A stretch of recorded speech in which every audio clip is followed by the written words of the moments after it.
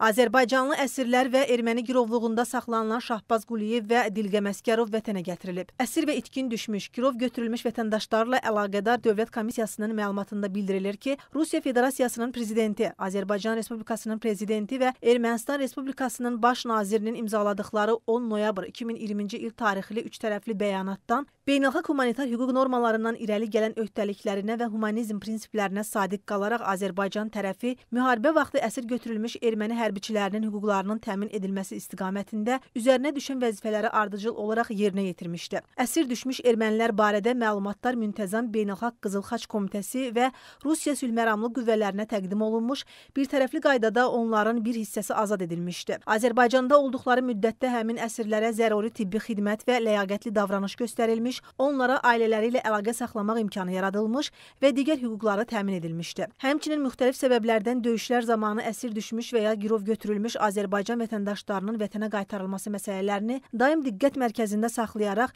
Beynəlxalq Qızılxaç Komitəsi, Rusiya sülhməramlı qüvvələri və digər beynəlxalq təşkilatlarla tərəfimizdən fasiləsiz olaraq danışıqlar aparılmış və bütün mümkün başqa tədbirlər həyata keçirilmişdi. Beynəlxalq təşkilatların və Rusiya sülhməramlı qüvvələri komandanlığının iştirakı ilə aparılmış danışıqlar nəticəsində erməni tərəfi ilə əsir və girovların hamının hamıya prinsipi əsasında dəyişdirilməsi barədə razılıq əldə olunmuş və cari il dekabrın 14-də əsir və girovların qarşılıqlı qaytarılmasına başlanmışdı.